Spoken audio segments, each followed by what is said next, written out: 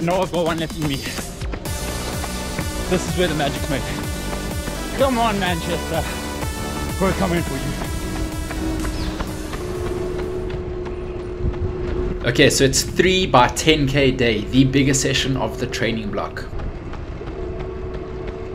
Here's the session details. So it's 2K's warm up, 3 times 10K with 1K floats, 1K cooldown, giving us a total run of 36Ks. Effort wise, we're looking to progress into marathon pace. So we're starting off slightly slower, um, progressing closer, and the last one we're on sort of hit marathon pace, which goal marathon pace is 319 per kilometer. I've come to do the session at my training playground. Battersea Park, so good for sessions. It's just blocked off from cars, the perfect loop. And it's about 11 degrees. Conditions look decent, but there are some dark clouds in the air. Let's see if it stays that way. Current pace is 326 per kilometer, which would give you a 224 marathon. Feeling good, but it's early, early, very early days for this session. 30 Ks worth of volume. This is the first one right here.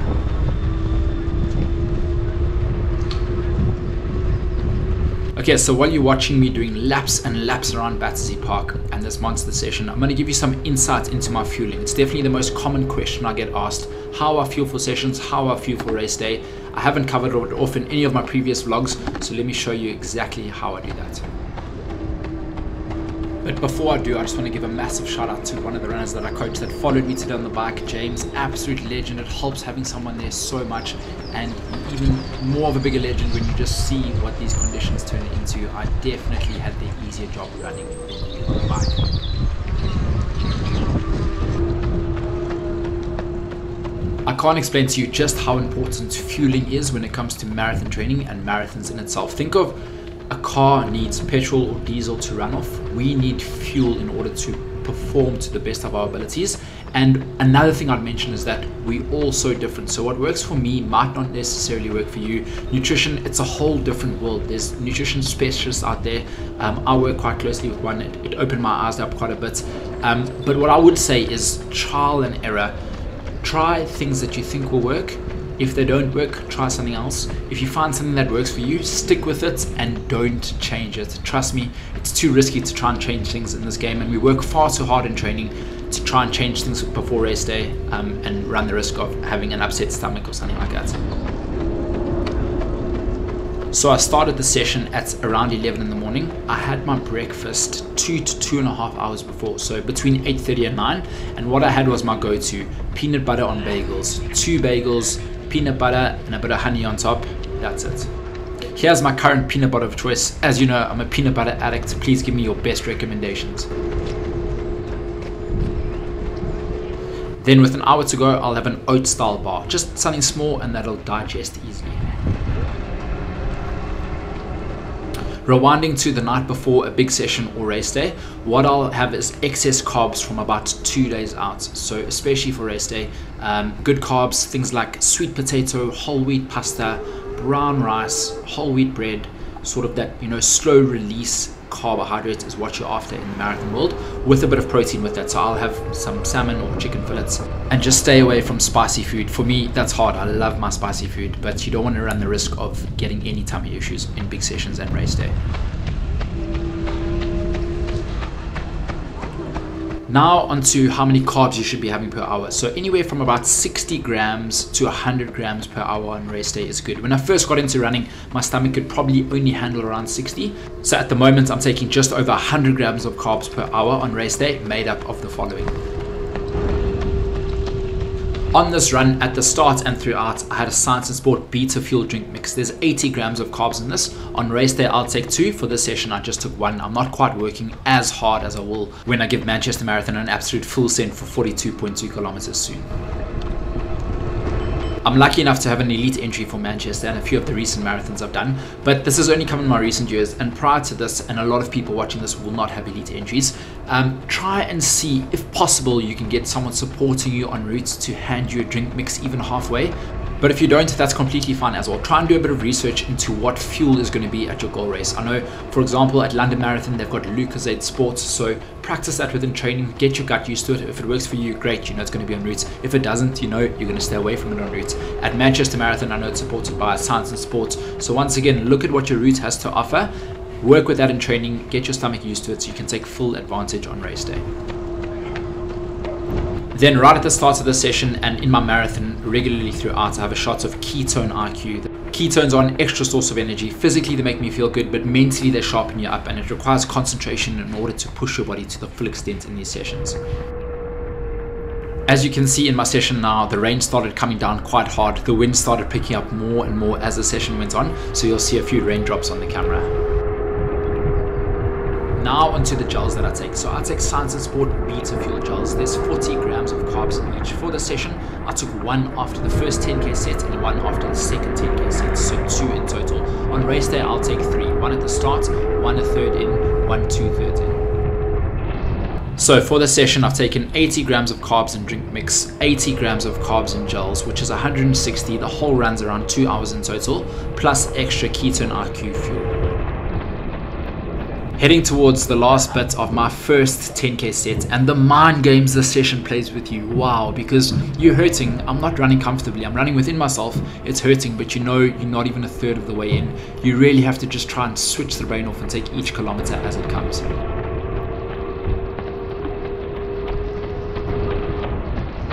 My Prime X shoes are absolutely glowing and I hope come Manchester race day they're going to be glowing just like that too. I decided to do this run in the Prime X shoe because it increases recovery. Remember for elite and sub-elite, it's got a stack height of 50 mil. The legal limit is 40, so it's above that. It's not legal for me to race in these, but it does significantly increase my rate of recovery, which is why I do it. Someone asked me if I had the chance to race in these, would I? And my answer was no. I'd rather race in the Pro 3s. It's a bit of a lighter shoe. I think there's not much difference in time it makes and the only reason why I do it in this, like I said, is because recovery is quicker. My margins are so tight with me wanting to find just 9 seconds over the marathon distance, so every little bit of weight in the shoe counts, and at these days, the lighter the better. If anyone from the Adidas manufacturing section is watching this and has access to a pair of Pro Evos, please send me a pair. You'll make me the happiest guy in the world.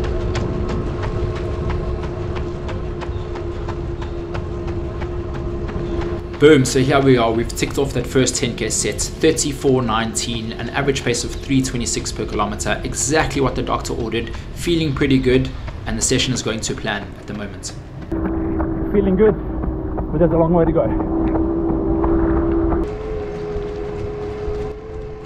I was stoked to have a bit of company for the second set. Thanks so much for joining. So the first set was done at 326 per k. For this one, I'm going to increase it or look to increase it to 323 per kilometer with the aim for my last one at marathon pace 319. Let's see if I can do it. Conditions are starting to get a bit more tough, but I'm feeling pretty strong as is. I didn't go into the session very fresh at all, as you'll see at the end. But at the same time, sometimes that's what marathon training is all about. You're not going to be fresh for these sessions. On race day, it's going to get tough. So you may as well train on tired legs, hit good paces on tired legs, because that'll help you significantly come race day.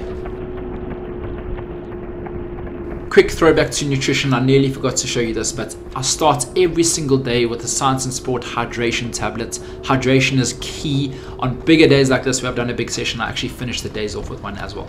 Getting those good electrolytes in. And then, of course, one of the most important things to get the absolute best training effect that you can out of the session, and I only started doing it in my latter days of running, I wish I did it earlier, is getting that recovery protein in within half an hour. The sooner the better. So, as soon as I finish, before I've even updated my Strava, I get my SIS Rego recovery protein and aim to get around 20 to 24 grams of protein just to speed up that recovery process and give your muscles the fuel you need to recover. You work so hard in these sessions, so you want to maximize the training effect you get out of them. They've actually just recently released a new recovery protein called Rego Clear. Look out for it, I can't wait to test it soon. In fact, I would love to know this as well. As soon as you finish your session, do you update your Strava or do you get your recovery protein smoothie in first? Let me know in the comments. Okay, so just to recap, you're looking for around 60 to 100 grams of carbs per hour. You've practiced this numerous times, so come race day, you know exactly what works for you and exactly how it's going to go according to plan. it's a really good idea to get your fuel in from a combination of energy sources. So break it down like this a third, a third, a third. A third from liquids, so your drink mix, a third from gels, so the gels that work for you, and a third from edible chewables that you've tried. Getting your fuel in from a combination of sources also reduces the chances of getting an upset stomach throughout the race. So let's just take, for example, a four hour marathon time. If you look at the standard gels out there, the normal gel gives off around 20 grams of carbs. That means you'll take 14 gels throughout the race if you're aiming to get in 70 grams of carbs per hour. And I can almost guarantee that if you take 14 gels, you're going to have an upset stomach towards that last third of the race. I hope you find this fueling helpful. Like I said, nutrition is a whole different world and there's nutrition specialists out there. But if you have any questions, just shout. Apart from that, I really do try and get my supplements in from a lot of natural foods. I do top up on magnesium, really good for sleeping, recovery, helps reduce chances of cramping. And there's quite a few other daily vitamins that I take, which I might showcase in another vlog coming up. But back to the running, the pace is picking up slightly, and so too is this awful weather. I'm going to keep quiet just to give you a real good effect of what it's like out there grinding through the session. Let's go.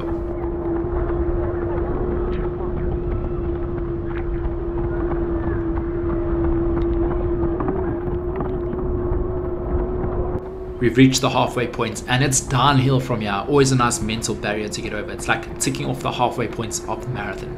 We've done 5Ks of the second set and we've got 5Ks left to go and then one last set. We've got this.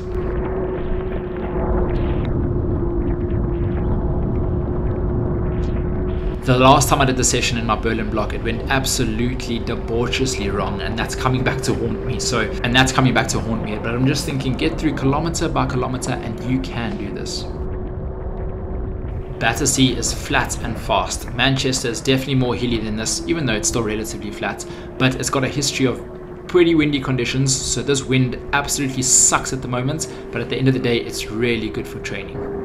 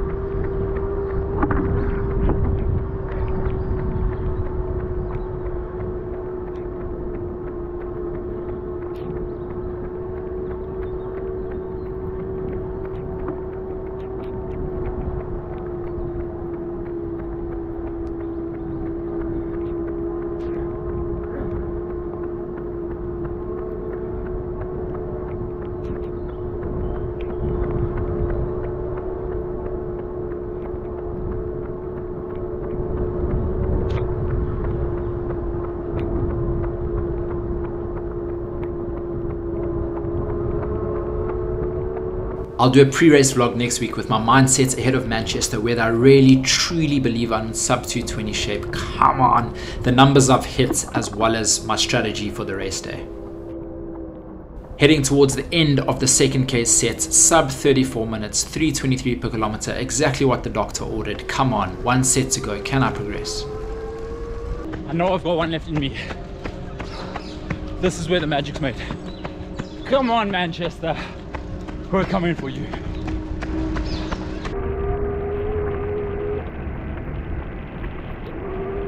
In this last set, I really aimed to progress to hit marathon pace at 319 per kilometer. It started getting very, very tough.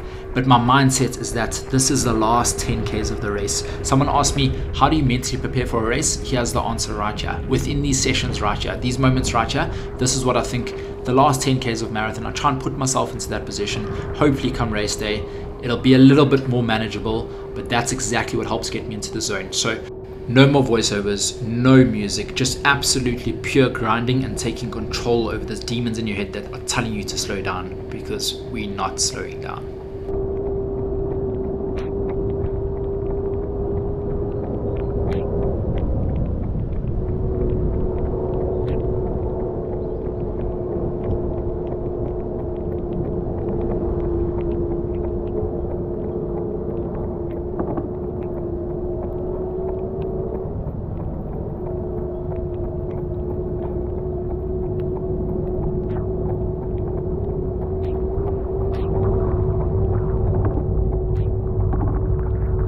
Let's go. Let's go. Boom shakalaka.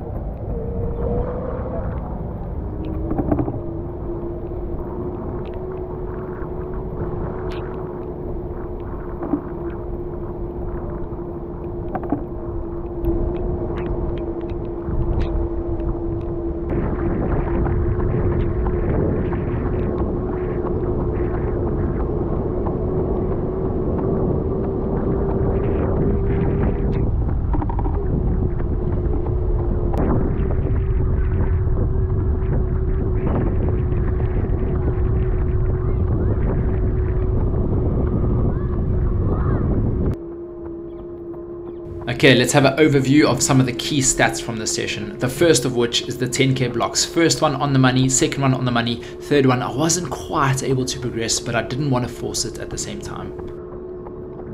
Here's a look at my heart rate graph. Each set it gradually climbs. It's exactly what you're after, no sudden surges. Have a look at that. 80% of this effort was within zone 4, probably fairly similar to race day, with a bit of zone 3 and hopefully a bit more of zone 5 on that day.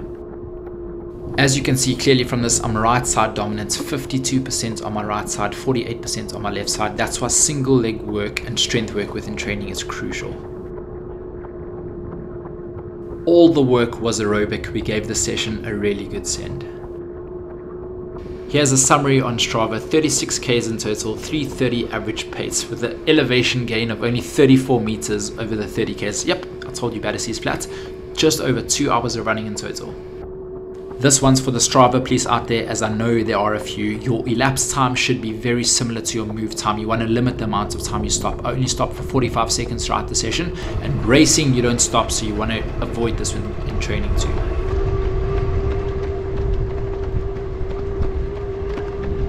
Thanks for watching. I hope you find this helpful. If you've got a race coming up, let me know in the comments below. Good luck. Let's give it a full send. Let's leave nothing out there, but let's not take for granted how lucky we are to be able to do the sport. Stay tuned for my post session thoughts. So nice to tick off the biggest session of the block, and you'll see the endorphins flow immediately after.